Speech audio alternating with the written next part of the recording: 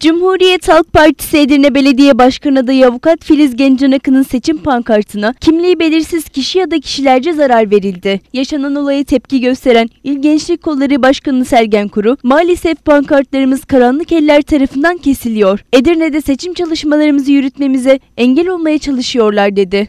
Kıymetli Edirneliler, sevgili Cumhuriyet Halk Partililer, değerli partilerimiz, Edirne hemşehrilerimiz.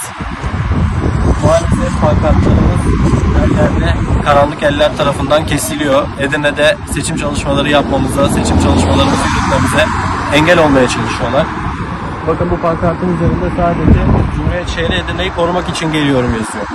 Burada hiçbir şekilde hiçbir siyasi partiye, hiçbir gruba e, atfedilen bir söz yok, bir mana yok. Ama buna dahi katlanamıyorlar çünkü Cumhuriyet'te problemleri var.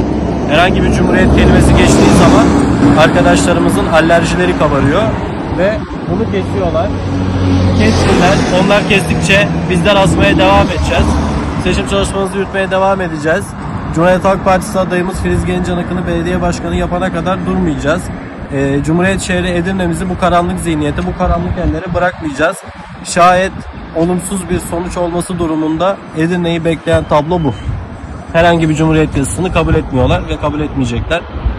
Ondan dolayı ben öncelikle çok değerli Cumhuriyet Halk Partililere bize ve adayımıza sahip çıkmaya davet ediyorum. Edirne'yi korumaya davet ediyorum.